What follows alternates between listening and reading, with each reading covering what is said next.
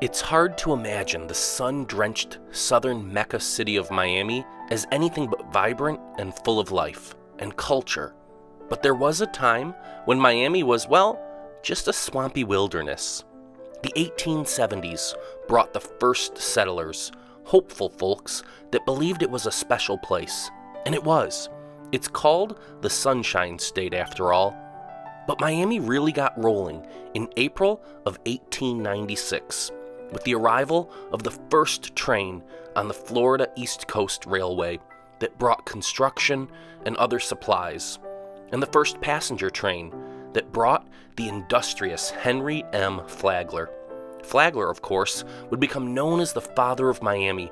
He dredged a channel, built streets, set up the first water and power systems, and financed the first newspaper.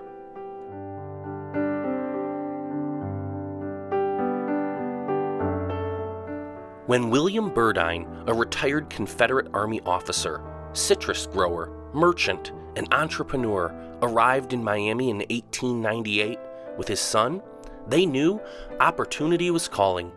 He bought a block on South Miami Avenue, just one block south of Flagler Street, in the newly developed and quickly expanding city of Miami.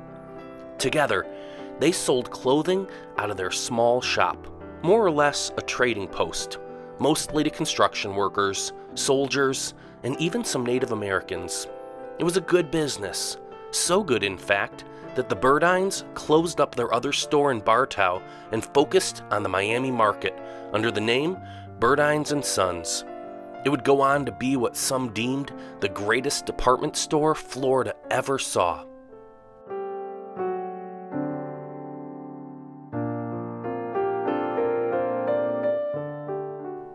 As Miami grew, so did Burdine's. They opened a larger shop on Flagler Avenue to accommodate their growing business. When William died in 1911, he left the store to his four sons. Son Roddy took over and moved the store downtown. This flagship store was five stories tall and was Miami's first tall building. It was the first with an elevator and the first with a steel beam superstructure.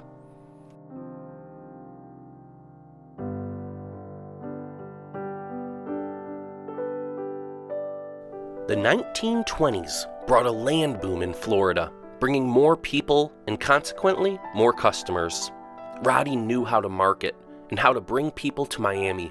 He was a staunch promoter of Miami tourism, luring big names and big events to the city. He helped to transform the Winter Palm Festival into the Orange Bowl Festival. In fact, the Orange Bowl Stadium, built in 1937, is called the Roddy Burdine Stadium.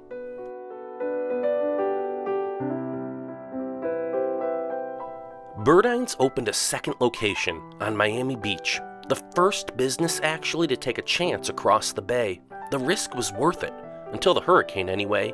Tragically, it killed over a hundred people and shattered every single window in Burdine's department store.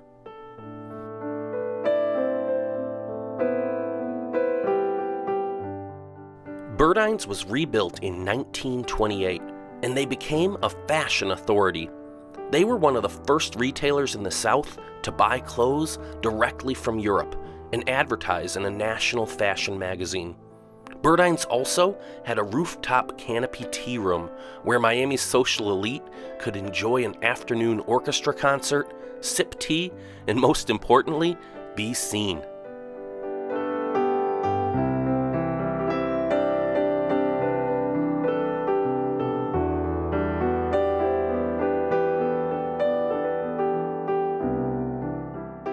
They launched their own brand of clothing in 1929 called Sunshine Fashions, designed for the laid back Florida lifestyle. Burdines was unique because clothing designers could test their spring and summer line early, months before the rest of the country got them. Locations opened in Fort Lauderdale and West Palm Beach, and their moniker of the Florida store, well, that began to stick. Some travel writers even suggested vacationers bring empty bags and fill them at Burdines.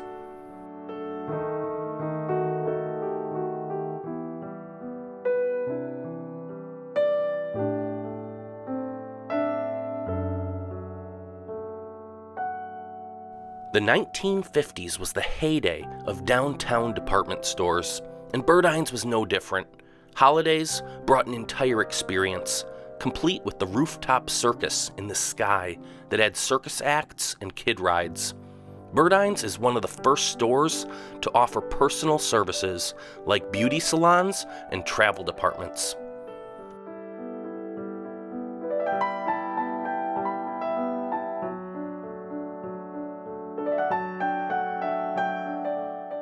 In 1956, Burdines merged with the Federated Department Stores.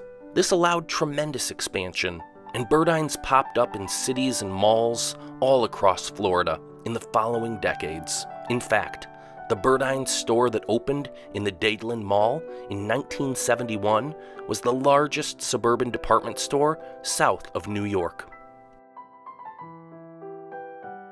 In 1959, Burdines launched their celebrity fashion show featuring music, dancing, charity fundraising, and new fashions. The iconic show ran for 15 years.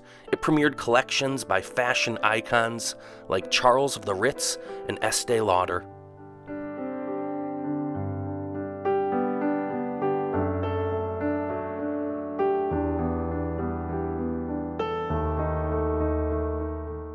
As malls rose in popularity in the 70s and 80s, Burdines was the place to shop in Florida. But eventually, consumers' tastes shifted and sales they declined.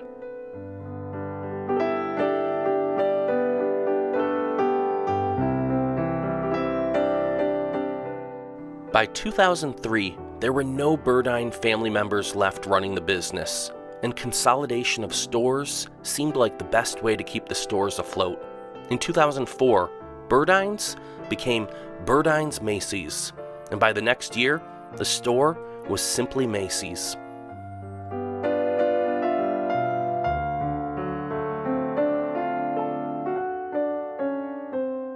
While the name of Burdines was erased from the marquee, we remember the iconic store that it once was.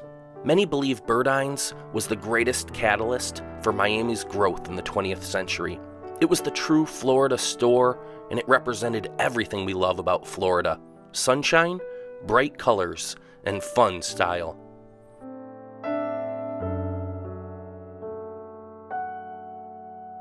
Thanks for watching Memory Mountain. If you enjoyed this video, please click to subscribe to our channel and hit that thumbs up button. Be sure to tap the notification bell so you'll be one of the first to know when we post our next story looking back over the landscape of Americana.